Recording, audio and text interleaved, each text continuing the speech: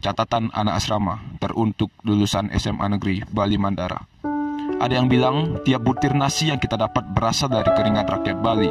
Dan hati kecilku mengatakan hal yang sama bahwa di setiap pakaian melekat di tubuh ini ada buruh bangunan yang menyumbangkan dua tiga kancing, ada sales jalanan yang menyumbang untuk beberapa jahitan, pegawai kelas sendal jepit yang menyisihkan peluhnya untuk menyumbang resleting, ada tukang kebun yang menyumbang sehelai kain, mungkin ada petani yang memberi beberapa lembar kertas buat kita belajar, ada tukang sapu yang menyumbangkan beberapa tetes sampo, ada pekerja korban PHK yang menyumbang segelas air. Meski mereka kehausan, kelaparan, kurang beruntung untuk mengecap pendidikan dan bahkan kesulitan mengenakan pakaian layak, satu pertanyaan singgah mengulus hati. Untuk apa mereka sudah melakukannya? Pasti ada harap yang besar bahwa kita akan jadi orang besar. Pasti ada asa yang tak terukur bahwa kita akan jadi orang jujur. Pasti dalam hati kecil mereka yakin kita akan membela rakyat kecil.